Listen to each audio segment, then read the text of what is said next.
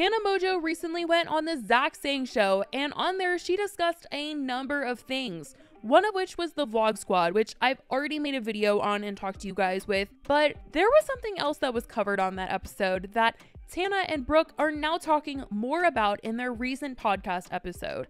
And it's probably one of the craziest things I've heard, so now I want to talk about it with you guys. This all has to do with Brooke's ex boyfriend, Clinton Kane. Now, I didn't even know Clinton until I heard his song on TikTok one day, and then very soon after that, he was on the Zach Sang show, and I watched the whole episode and I was like, oh my gosh, I really feel for this guy. Like, he was talking about his music and how meaningful it is for him and how it's really helped him through a lot of stuff. And he opened up about his mom passing and his whole music career practically being a lot about family and her and everything. I Feel like right after that Zach Sang show interview, he was really blowing up. I was seeing him so much more, and he was even interviewed by the Grammys. They did a whole article on him where they talked about the fact that he lost three close family members in one year and how he coped with that through music. And then I remember seeing Brooke say in a vlog later on that this was her boyfriend. And I was like, oh my gosh, Tana's Brooke. I am so happy for her. This guy seems so nice. He seems so great. I love his music, all this stuff. But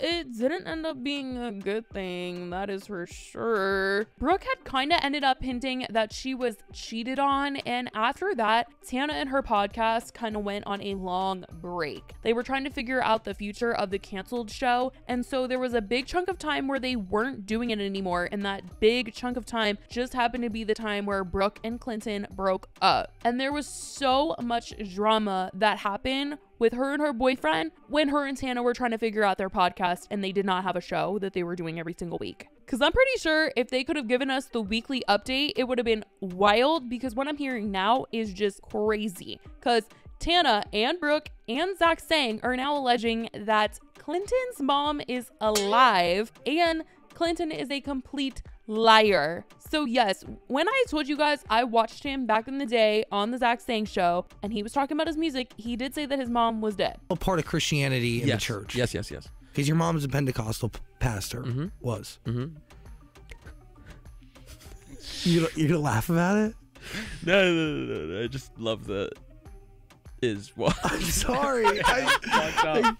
it is. Everyone, my mom's dead. just say it, Zach. Say it to my face. But then there ended up being a comment left under this interview with Zach where somebody said they went to school with Clinton and they know for a fact that his mom and brother are both alive and well, and they literally did not know what he was talking about in this interview and were super confused. And now we're hearing that this comment and the other comments that were like, his mom is alive, this is so confusing and so weird. Like, why is he lying? This was the reason why him and Brooke broke up because she found out through this, Tana found out through this, Zach found out through this. Like, everybody found out that he was allegedly, apparently, a liar because of this interview and these comments. And I remember at the time that all this was going down, I actually got a DM about this and people were saying that, you know, he was allegedly lying. And I was just like, what am I reading? Like, this is the craziest thing. But I didn't want to say anything yet because Tana hadn't come out and said anything. Brooke hadn't come out and said anything. Nobody had reported on it. I was like, I don't know, like something about this just like is strange. And I also wanted to see if he was going to say anything. And he did. He actually did make a post on his Instagram in January addressing this thing and trying to give a little bit of an explanation as to why some people were saying his mom was alive. And he wrote this whole thing that said, Dear family, I'm writing about something that's been on my mind, and my therapist feels I'm ready to talk about it. Even though I don't have to or feel the need to, as this is an incredibly personal subject regarding my grief and my pain. It's effing disgusting how I have to sit here and write this down for me to explain to people who I don't need to explain anything to. This is my life. I feel so sad, angry, frustrated, and effing bewildered at some people in my life and even people outside of my life who have assumed that they know me and my story. So much so that they have threatened me with some made up gotcha moment and never let me process my grief from the last couple of years. It is truly pathetic. My loss is just that my loss. Not for anyone to define, label, or judge. but they still are so unfortunately here. I am having to post and explain feelings and events that I am still coming to terms with and dealing with. When I lost my mom, it was my mom. I have been estranged from my biological family for years. This amazing woman who has been my mom was the one who showed me love, protection, and guidance over my lifetime, and I lost her sadly. As most people who have unique family situations and even adopted people will understand, most people just assume everything must be biological. After I lost my mom, I felt the way anyone would confused, lost, and pissed off that I was not able to be there. I was on a effing Zoom watching a funeral for effing sake. I didn't feel it was anyone's business to go deeper than that. I lost my mom, mine, and that's what mattered. It is still what matters, and I will continue to honor her image and privacy. So, to those of you who get it, who are estranged from your family, thank you. To my fans who I consider family who have stuck by me, I love you with all my heart.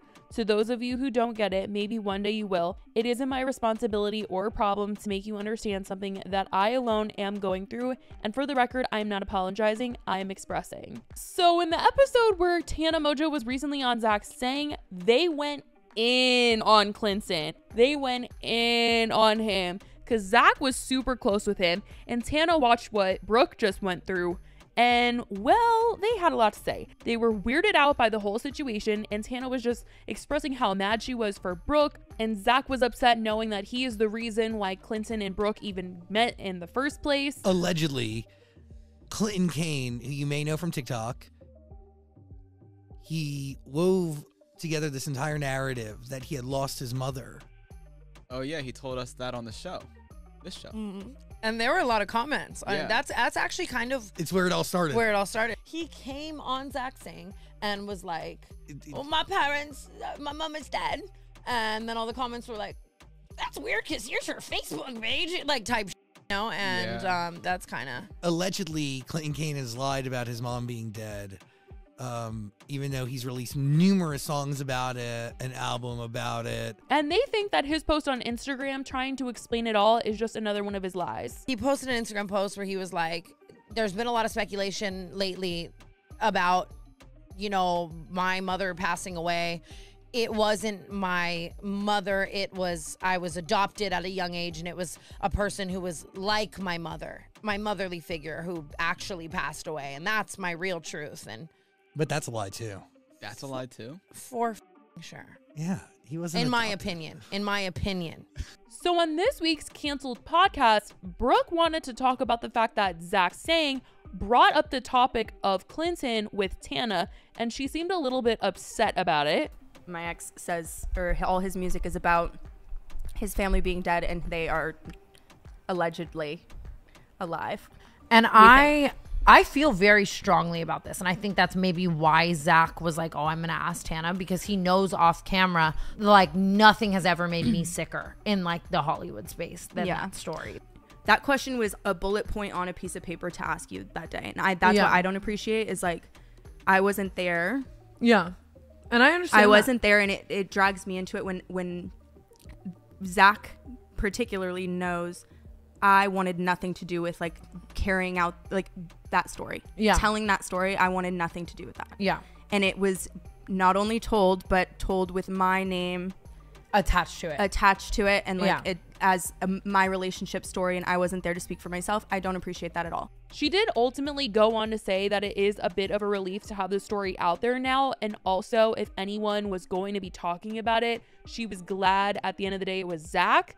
She did say, though, that Zach told somebody that he cut out that part of Tana's episode, but it was left in. choosing your episode was didn't leave a good taste in your ma- mouth. made it about me and at that time i didn't even know how about me it was you know what i mean Yeah. and then he told me he cut it and then it came out anyway he didn't tell me he So cut Zach it didn't count you on days. no i I mean No, like but- listen whatever like again I thought he cut it. I should feel no responsibility to protect anybody's like reputation it's Yeah. stupid it's stupid zach himself didn't ever respond to me I, I so he relayed the message to somebody that he cut it and i was sleeping fine at night thinking like okay like i can live another day without having to worry about this story like Yeah. She does want to clear up that she doesn't have anything against Zach though, but she just like didn't love that a lot of her business was aired out. But she understands that it sort of is like Zach's business as well, since he brought the two of them together and he was really close with Clinton. And listen, no shade to Zach Sang. I love Zach Sang. I think he's amazing. but no, I'm serious. I, I, well, I feel, I feel like I just really went in on him. Like I didn't mean for it to be like that. I just I how you feel. I hate that I have to talk about something I didn't want to talk about. So it's been a really crazy ride dealing with her ex. Clearly, I mean, this is one of the crazier stories I've heard. Someone allegedly getting accused of lying about something like this. And this isn't even the only thing that he is allegedly, possibly almost lied about. People are saying that he fakes his accent. And this one I know for sure because Brooke did say it on a podcast. But originally, he lied to her about his own age when they first started dating. And she said this on the Plan Bri podcast. But you know, I just found out yesterday that my my boyfriend, who I have been, he just told me like very casually, like, "Oh, I'm actually two years younger than I said." Whoa. like what? How old did you say he was? He said he was. He's probably he's gonna be so mad at me for saying this, but he said he was 24. Mm-hmm. Rightfully so, because I I don't think I would have dated someone younger than me if I knew. Me either. I can't do that. Been together for three months though, and he's kept this. Yeah. That's good. And, and worse than that, happened Grace. my first Worse than that, Grace. He showed me his ID, and it was a fake. I, Shut up. Shut up. Shut up. Well, well, okay. So, okay, we can take this a lot of ways, like crazy, or he really, really liked you and he No, wanted yeah, you he, to that, be I him. mean, he just didn't. Yeah, I- like, honestly, that would have been like off-putting for me in the beginning. Now, of course, it doesn't matter because I know him, and like, Yeah. I don't care. But maybe in the beginning, I would have been like, oh, I could never. So there's just a lot of things going on here. And I want to know what you guys think. Let me know your thoughts in the comments. I love you guys so much. And I will talk to you in the next video. Bye, guys.